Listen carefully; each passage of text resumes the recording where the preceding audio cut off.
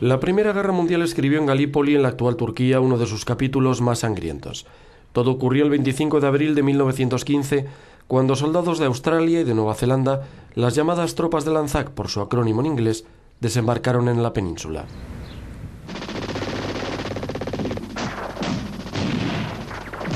Su objetivo era controlar el estrecho de Dardanelos, pero encontraron una férrea resistencia por parte del ejército del Imperio Otomano. Se cumple un siglo y ninguno de los países que tomó parte en la contienda podrá olvidar nunca esta batalla.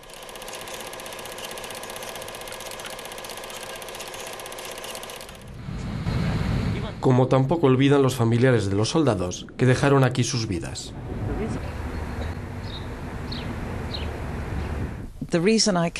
Quería ver Galípoli, esta es la razón por la que he venido. Supe que mi abuelo había servido aquí como capellán castrense para las tropas británicas.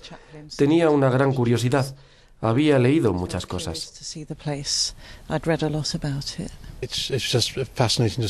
Resulta fascinante ver el entorno, recordar todo esto. La increíble pérdida de vidas humanas por ambos lados resulta conmovedora. Por eso hemos venido, para conocer la historia, para saber qué sucedió aquí realmente.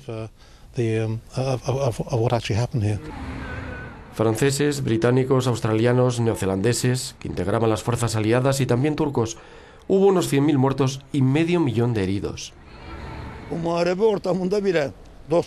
La lucha en el campo de batalla era feroz al tiempo que se forjaban grandes amistades. ¿Sabe?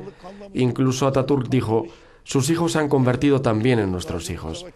Ahora vemos australianos, neozelandeses, británicos y de otros países que nos visitan, como nuestros amigos y nuestros invitados en este entorno.